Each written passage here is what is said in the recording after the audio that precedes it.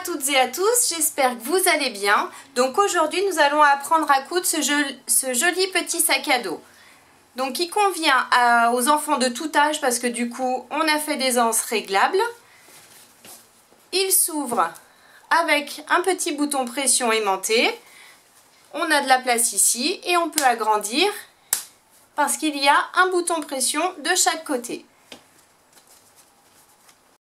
Pour réaliser ce petit sac à dos, il me faut deux tissus extérieurs de 35 cm par 35 cm chacun,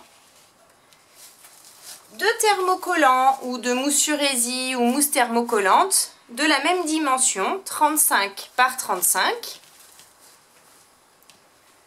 deux morceaux de tissu doublure de la même mesure, 35 cm par 35 cm.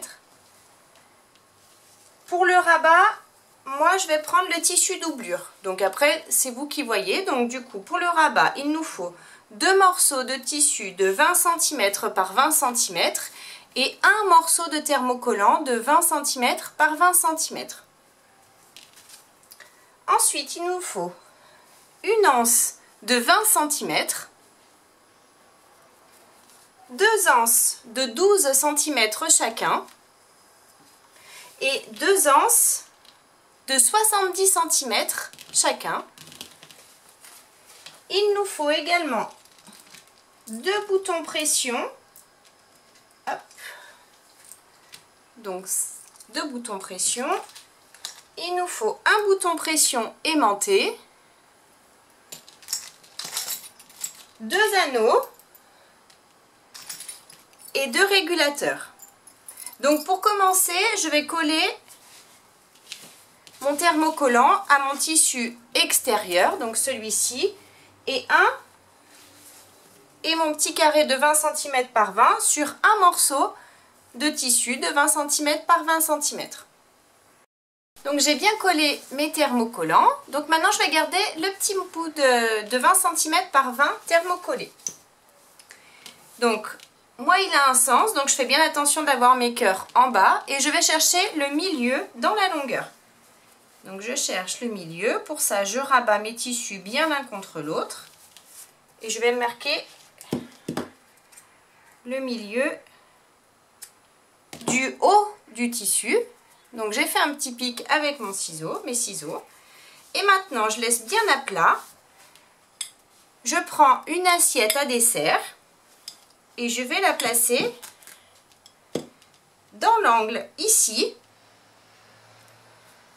et de façon à ce que ça rejoigne ici et ici et je fais une marque à l'aide de mon stylo pour créer l'arrondi du rabat. Donc j'ai mon arrondi et maintenant je peux découper.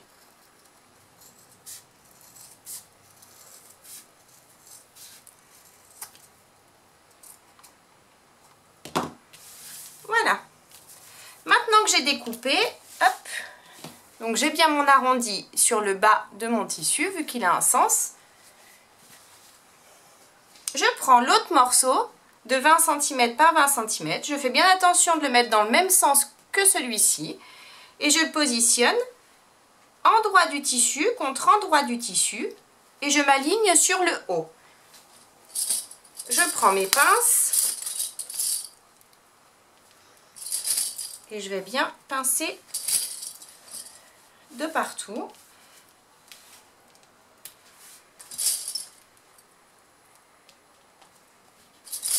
Et une sur le bas pour bien maintenir.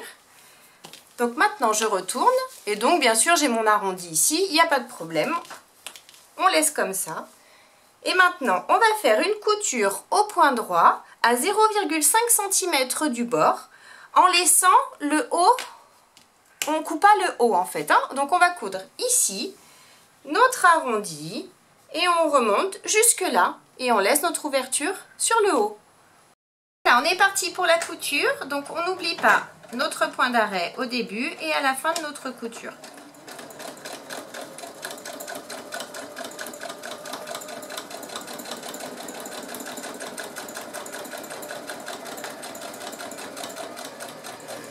Donc on ralentit quand on arrive dans l'arrondi et on va doucement de façon à avoir un bel arrondi à la fin.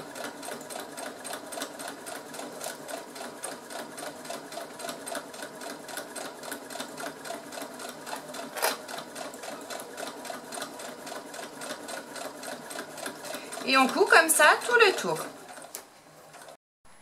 Voilà, j'ai bien fait ma couture et j'ai bien en ouverture comme prévu sur le haut, ici. Donc maintenant, je vais prendre mes ciseaux cranteurs et je vais enlever tout le surplus de tissu, tout le tour.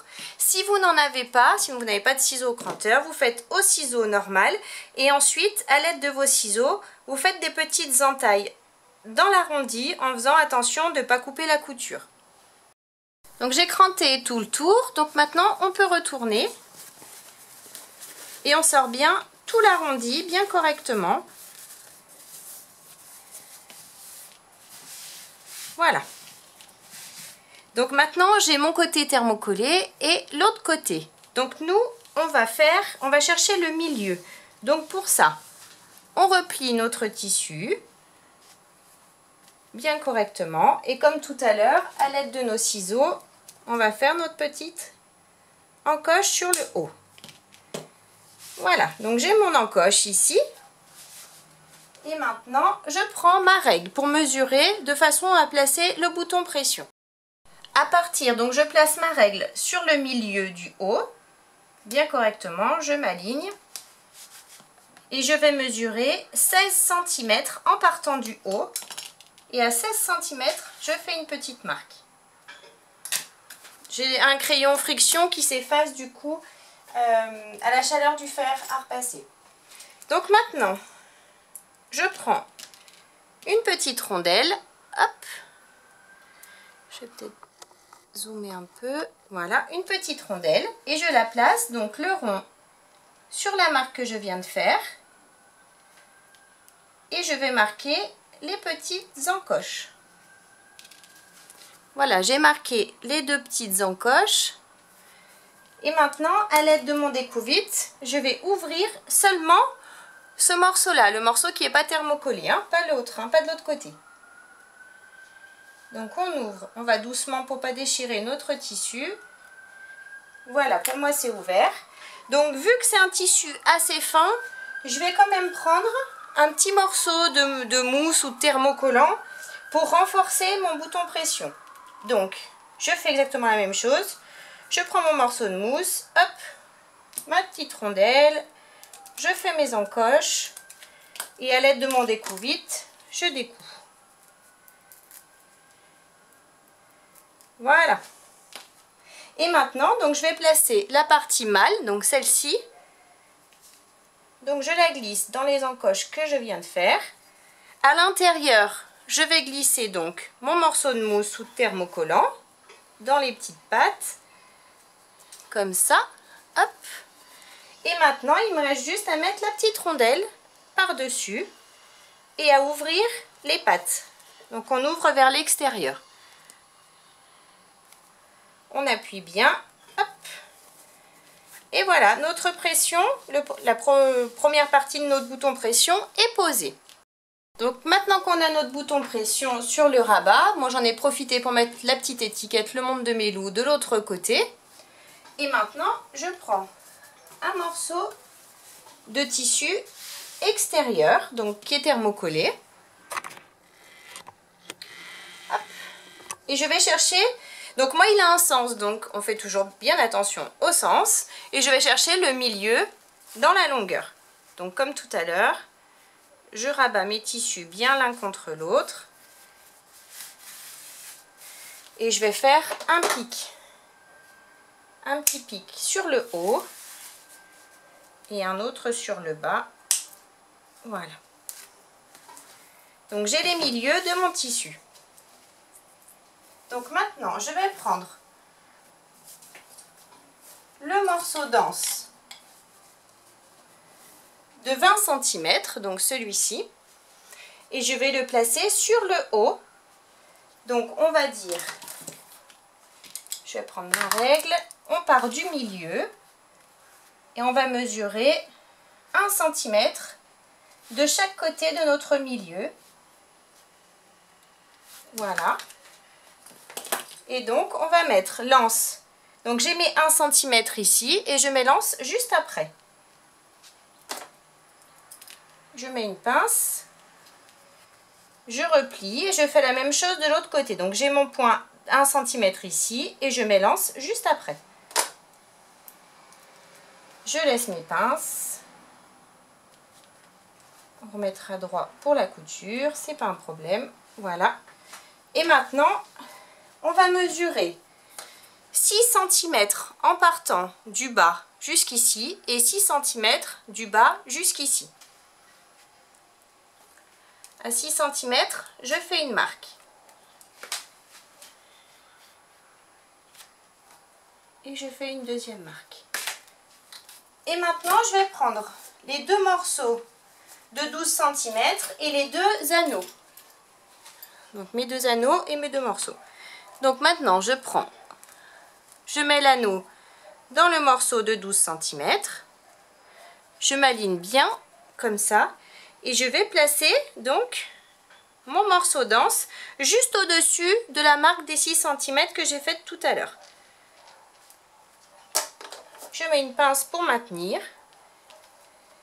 Et je fais exactement la même chose de l'autre côté.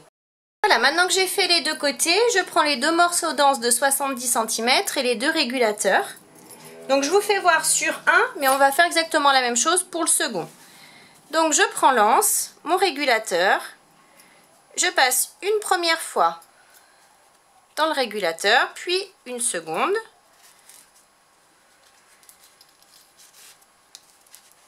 Voilà. Je replie une petite partie et je viens rabattre sur le grand morceau qui me reste. Donc ça fait un petit sandwich comme ça.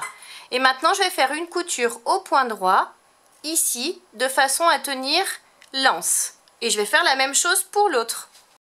Voilà, j'ai bien cousu donc les deux, les deux régulateurs. Donc maintenant, je vais passer l'anse dans l'anneau. Donc on fait attention parce que du coup le morceau n'est pas encore cousu. Je fais glisser. Donc j'ai la partie comme ça avec le petit boudin dessous. Je fais glisser. Je passe donc ma, ma lance dans le régulateur une première fois. Puis une seconde. Et maintenant, donc, je peux régler, je vais pouvoir régler donc la distance de lance. Et maintenant, je vais positionner le haut de lance juste après, voyez, le morceau que j'ai mis en haut. Donc, juste à, la suite. Je mets une pince. Et maintenant, je vais faire exactement la même chose que je viens de faire ici, de l'autre côté. Donc, maintenant que j'ai placé les deux anses, je vais faire les coutures de partout donc une ici, au point droit, à 0,5 cm du bord du tissu. Vous, pouvez passer deux fois dessus de façon à bien maintenir. Une ici, et bien sûr sur le haut. Et on fait toutes nos coutures à 0,5 cm du bord du tissu. Voilà, mes coutures sont bien faites, donc ça tient bien. Hop, pas de problème. Maintenant, je reprends mon rabat. Et je vais le placer donc, moi, le côté de mon étiquette, donc le côté matelassé contre le tissu principal. Et on va mettre bien correctement, donc on a notre marque du milieu contre la marque du milieu ici. On l'aligne bien correctement.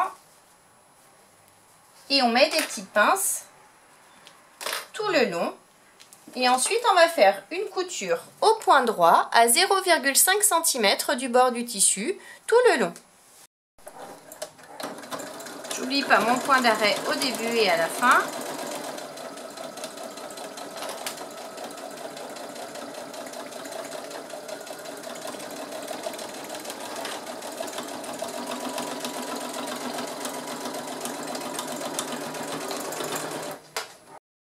Voilà, donc j'ai bien cousu mon rabat. Et maintenant, je vais prendre le second morceau de tissu extérieur. Donc, je vais le mettre endroit du tissu contre endroit du tissu. On fait bien attention si notre tissu a un sens Donc moi, mes poupées, je mets bien les jambes en bas. Et je vais le positionner par-dessus. Et je vais mettre des pinces tout le tour. Donc j'ai mis mes pinces, j'ai laissé l'ouverture sur le haut, bien sûr, c'est normal. Mais j'ai mis mes pinces tout le tour sur le reste. Donc maintenant, je vais faire une couture au point droit à 1 cm du bord, là où j'ai mis mes pinces. Donc bien sûr, on ne ferme pas le haut, hein. c'est vraiment les côtés et le bas. Donc j'ai bien cousu et j'ai toujours mon ouverture sur le haut. Donc maintenant, je reprends ma règle et je vais mesurer sur les angles du bas en partant des coutures. Et on part pas du, du bord du tissu, on part bien des coutures. Et je vais faire des carrés de 4 cm par 4 cm. Je trace mes carrés. Et sur l'autre angle aussi. Toujours 4 par 4. Et maintenant, je vais découper ces carrés. Donc quand on découpe, on fait bien attention de ne pas découper les anses qui sont à l'intérieur. Hein. Donc euh, on, les, on les enlève un petit peu, on les place vers le haut et on découpe nos carrés. Mes petits carrés sont découpés, donc maintenant je vais ouvrir. Donc je tire un petit peu dessus et je vais placer mes coutures l'une en face de l'autre, bien correctement. Je vais mettre des pinces pour bien maintenir et je vais faire une couture au point droit à 0,5 cm du bord du tissu. Et je fais bien évidemment la même chose dans l'autre angle. Je tire, j'aligne mes coutures, je mets mes pinces et je fais ma couture à 0,5 cm du bord du tissu. Voilà, mes angles sont cousus, donc maintenant je peux retourner toute cette partie et je fais attention de ne pas casser mes coutures, on va doucement. Alors maintenant que j'ai retourné mon sac, je l'ai mis bien à plat, j'ai bien aligné mes coutures. Et maintenant, je vais rabattre bah, le rabat. Et je vais laisser un petit espace ici d'un petit un demi centimètre. Et je vais marquer là où tombe mon bouton pression. Donc moi, il tombe là. Je vais mesurer pour vous dire à peu près. Donc c'est à 11 cm du haut du tissu. Et donc maintenant, on va faire comme tout à l'heure. Pour poser la seconde partie de notre bouton pression. Donc on prend la petite rondelle, on fait nos encoches et on fait exactement la même chose que tout à l'heure. On ouvre les petites encoches, on place le petit morceau d'aimant, l'anneau derrière et on ouvre les pattes. Voilà, notre seconde partie d'aimant est positionnée. Donc maintenant, on va s'occuper du tissu doublure. Donc je peux mettre ça de côté. Je prends mes deux morceaux de tissu doublure. On fait attention toujours au sens s'il y en a un. Moi, je mets mes petits cœurs correctement. Je vais mettre le second morceau de tissu endroit du tissu contre endroit du tissu. Je les aligne bien. Je mets des pinces.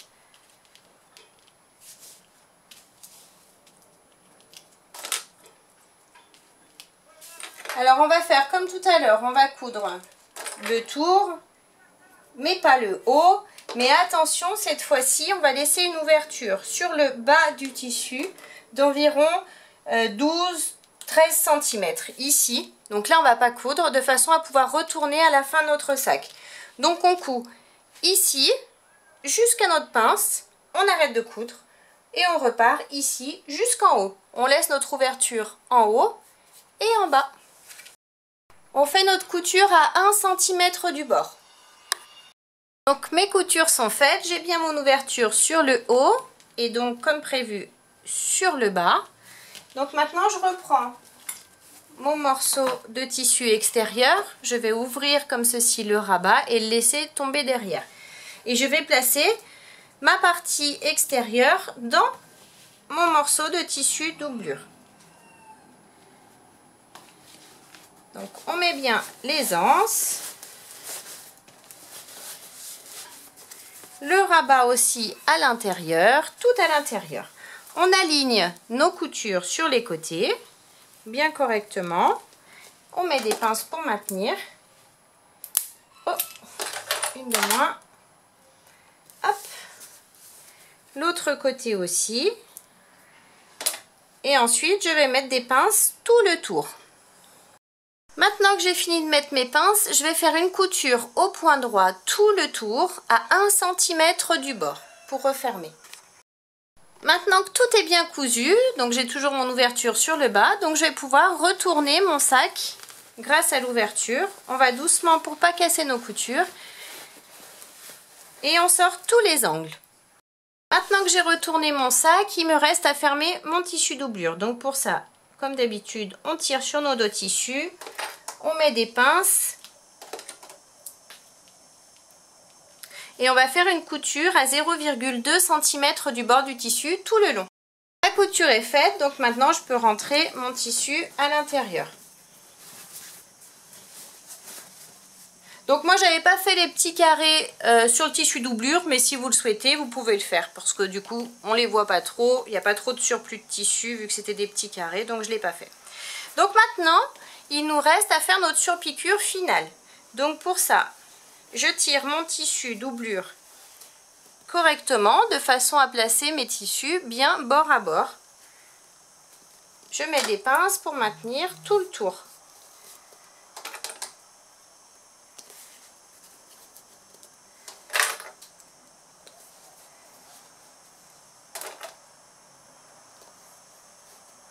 Voilà, j'ai mis mes pinces, donc j'en ai pas mis au niveau du rabat. C'est normal parce qu'en fait, on va faire notre surpiqûre en partant du rabat, justement.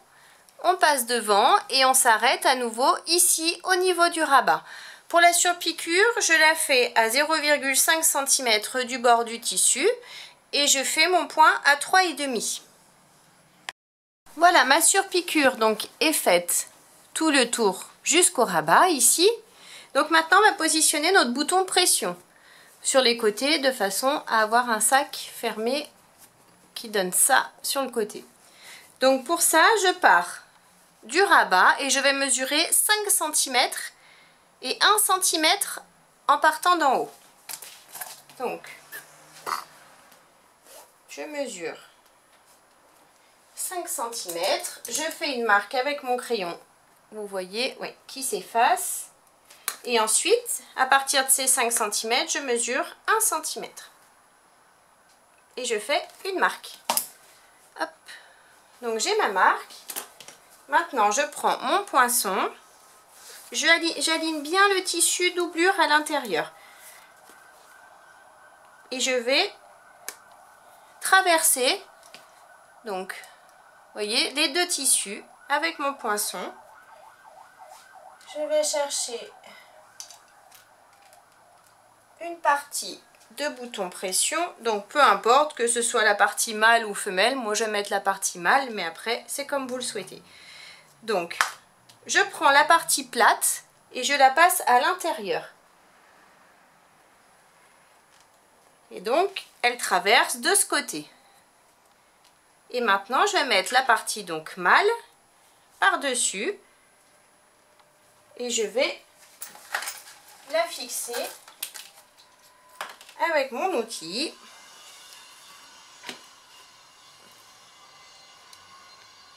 Donc il suffit d'appuyer fort. Et voilà, donc ma première pression est posée. Donc maintenant, ce que je vais faire, c'est que je vais replier donc mon tissu de façon à voir où tombe l'autre partie de bouton pression. Donc là, il n'y a pas de mesure, c'est vous qui allez voir. Vous voyez, moi ça va donner ça. Donc elle est ici. Donc toujours à 1 cm du bord, bien sûr. Et je vais percer. Comme tout à l'heure. Je prends mon autre partie, donc la partie femelle cette fois-ci.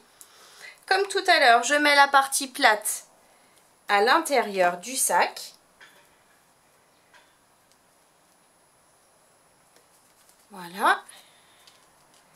Et la partie femelle par-dessus. Donc je vous fais voir pour ce côté, mais on va faire exactement les mêmes mesures, la même chose pour l'autre côté. Hein. Donc j'appuie et à l'aide de mon outil, je resserre mon bouton pression correctement. Et maintenant, je peux fermer donc cette partie. Je fais la même chose de l'autre côté. Je mesure les 5 cm en partant du rabat, 1 cm. Je mets mon bouton pression, je replie et je mets l'autre partie du bouton pression. Donc voilà, j'ai mis les pressions des deux côtés. Donc notre joli petit sac à dos pour enfants est terminé. On a bien notre bouton pression aimanté devant. On peut glisser la main à l'intérieur et si on veut agrandir, il suffit d'ouvrir les boutons pression. Donc, l'aisance se règle. Vu qu'on a mis nos petits régulateurs, donc il convient à tout âge. Donc j'espère que la vidéo vous a plu. N'hésitez pas à mettre un j'aime et à vous abonner à ma chaîne. Et en attendant, moi je vous fais plein plein plein de gros bisous. Et je vous dis à très vite pour une nouvelle vidéo. Bye bye